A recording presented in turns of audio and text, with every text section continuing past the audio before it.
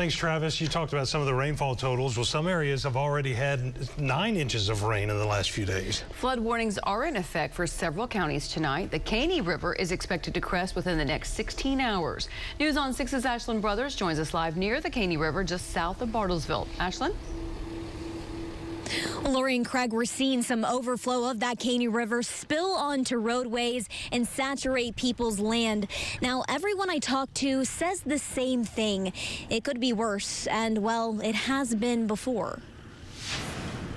The river's going to do what the river does. The Caney River is expected to crest tomorrow, reaching up to 29.6 feet. Officials say most structures are fine, but fields and pastures are soaked as water rolls over rural roads. If it rains too much, you can't get out of here because there's a slough over here on the south side, and then on the other side of the Caney River Bridge, all that goes underwater for about a half a mile to a mile.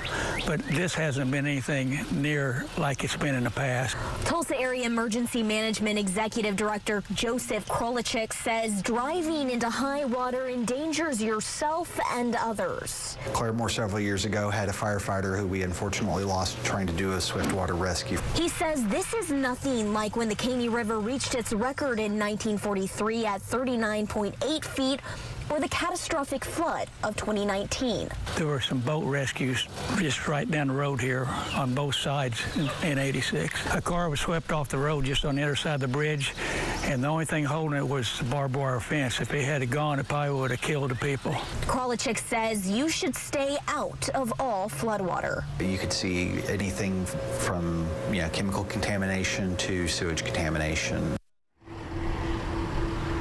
Emergency management expects the water to go below flood stage Friday afternoon. Live in Washington County, Ashlyn Brothers, Oklahoma's Own, News on 6.